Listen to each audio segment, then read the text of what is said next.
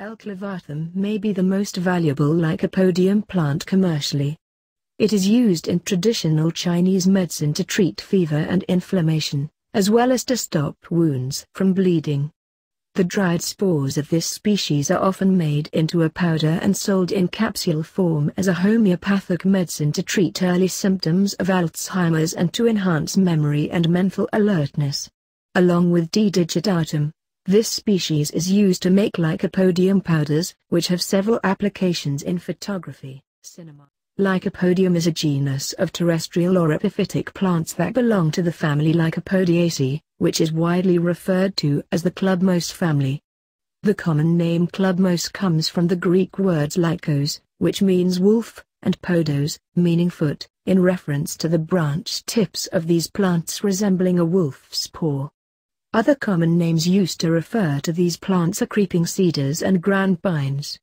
These plants range from 0.49 feet, 0.15 meters, to 1.97 feet, 0.60 meters, in height depending on the species.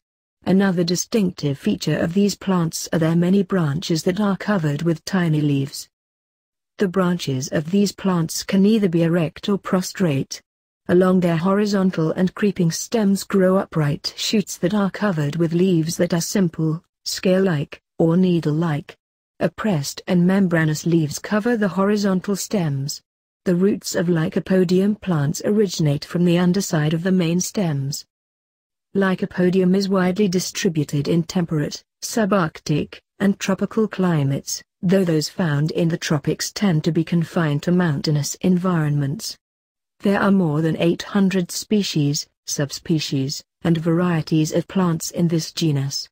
Although these plants are generally abundant, there are some species that have been listed as threatened and endangered.